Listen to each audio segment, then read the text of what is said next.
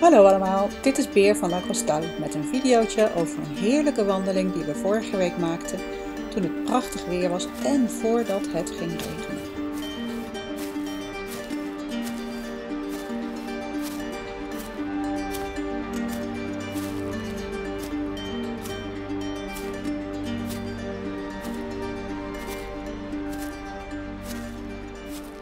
Vanaf het terrein kun je namelijk rechtstreeks de natuur in. Tussen de gebouwen op de koer loop je via het achterveld door naar het onverharde pad dat je naar de bronnen van de Sèvres Niortaise leidt.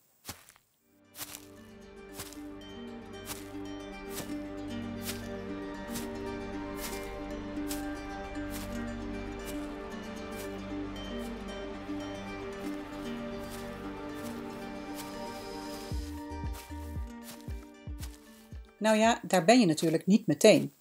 Eerst heb je nog een prachtig zicht op de gebouwen van La Crostal en aan het einde van het pad geniet je eerst van het altijd even imposante vergezicht. Je kunt daar niet verder, dus je slaat linksaf en volgt het diepliggende pad naar beneden. Als je aan de linkerhand de witte boerderij op een afstand ziet liggen, dan ga jij naar rechts. Het pad houdt daar helemaal op en je loopt dan tussen de velden door naar het bos toe. Daar heb je de prachtigste vergezichten over het glooiende landschap.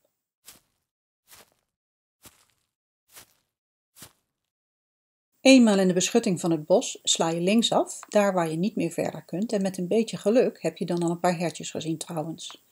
Je volgt het pad weer, tussen de bomen door naar beneden en gaat met een slome bocht mee naar rechts. Het wordt weliswaar onderhouden, maar niet altijd even goed, hè? dus het is soms echt een avontuurlijk dingetje, zeg maar. En als je dan beneden aankomt, dan zie je het water al voor je en de eerste bronnen aan je linkerhand omdat het winter is en best wel nat, was het even glibberig, maar daarvoor word je wel echt fantastisch beloond.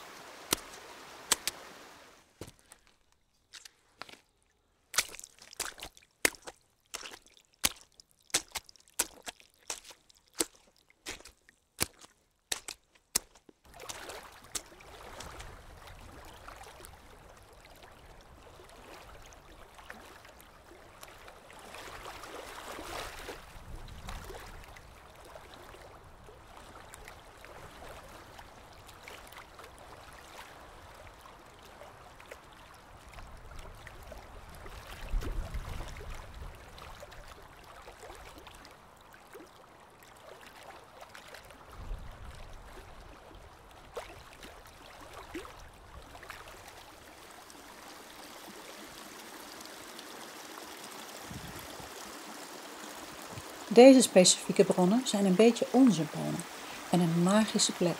En ik kan het zelf bijna niet geloven, maar ik kom er al bijna 29 jaar. En in alle seizoenen is het er even mooi.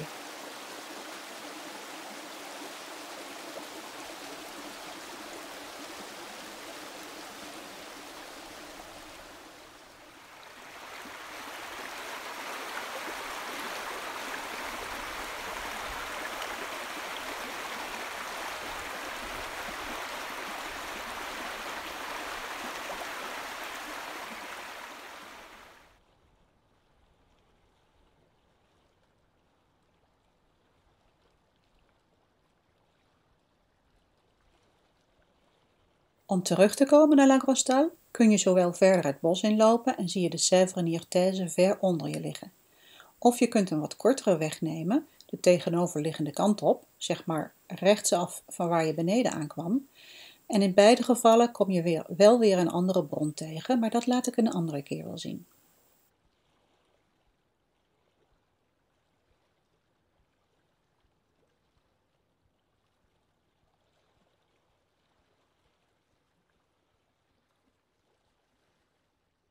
Wij kozen deze keer voor de kortere weg terug, die tweede dus, en genoten van een heerlijke gezonde lunch buiten op het terras van de studio. Dat is nog eens een cadeautje in januari.